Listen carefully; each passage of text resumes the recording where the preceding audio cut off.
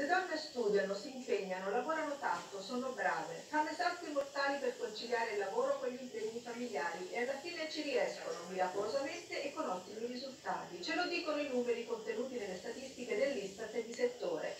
Ma c'è un'altra cosa che ci dicono i dati. Gli stipendi delle donne a parità di grado dei colleghi maschi restano al palo. Anche quando una lavoratrice riesce a fare carriera il suo stipendio è inferiore ad un collega maschio.